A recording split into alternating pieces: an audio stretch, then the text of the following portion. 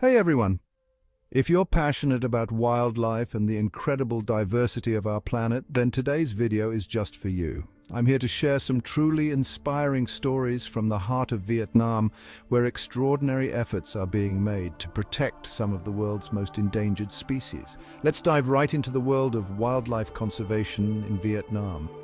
Among the lush forests and misty mountains of Vietnam lives the pangolin, often called the scaly anteater. These unique creatures are the most trafficked mammals in the world, hunted for their scales and meat.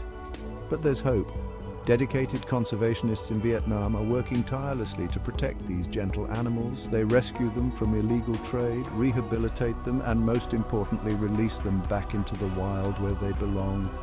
Then there's the mysterious Saola, sometimes referred to as the Asian unicorn.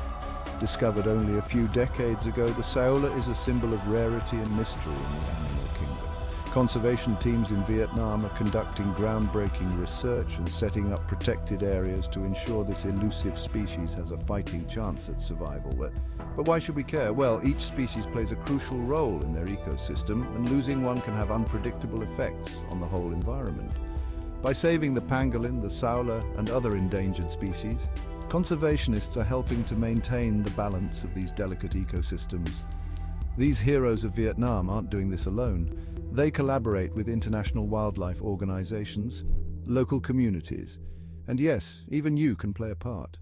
Through awareness, support, and responsible tourism, we can all contribute to the protection of these incredible creatures. So, next time you think about the wonders of our natural world, remember the pangolin and the saola?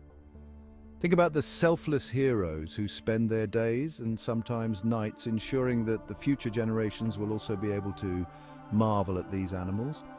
Thanks for tuning in today.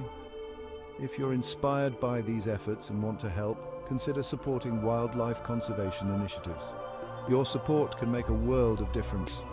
Until next time, keep loving and protecting our wildlife. See you.